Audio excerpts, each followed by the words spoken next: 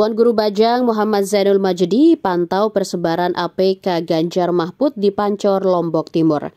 Persebaran alat peraga kampanye atau APK Capres Cawapres nomor urut 3 Ganjar Mahfud mendapat perhatian dari Wakil Ketua Koordinator Tim Pemenangan Nasional Ganjar Mahfud TGB Muhammad Zainul Majdi.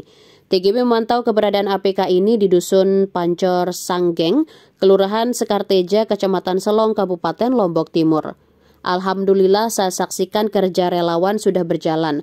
Banyak APK yang saya jumpai katanya pada Minggu 17 Desember 2023. TGB berkeliling Pancor, Sanggeng ditemani Ketua Dewan Pertimbangan Partai Perindo NTB, Hajah Siti Rohmi Jalilah, dan Ketua DPW Partai Perindo NTB, Haji Hairul Rizal, dan Ketua DPD Partai Perindo Lombok Timur, Jamaluddin.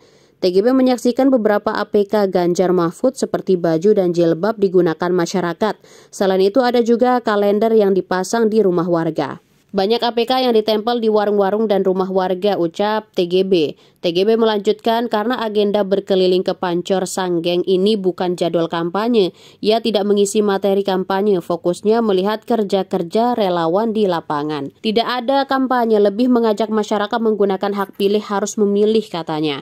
Pada kesempatan ini, TGB bertatap muka dengan puluhan orang di tiga lokasi, pertama di RT 12, kemudian disusul di RT 13, dan terakhir di RT 14. Dalam momen ini, TGB mengajak seluruh masyarakat menghormati puluhan orang lain.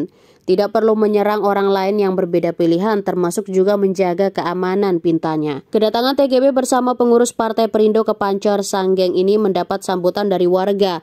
Mereka dengan bangga memamerkan APK dari Ganjar Mahfud. Salah satu warga RT 14 Dusun Pancor Sanggeng, Nur Aini mengaku telah menerima APK Ganjar Mahfud dari relawan beberapa waktu lalu.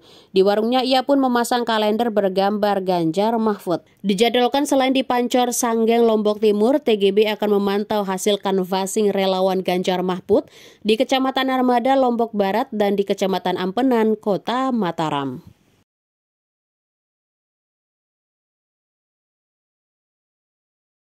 Download Tribun X sekarang. Menghadirkan lokal menjadi Indonesia.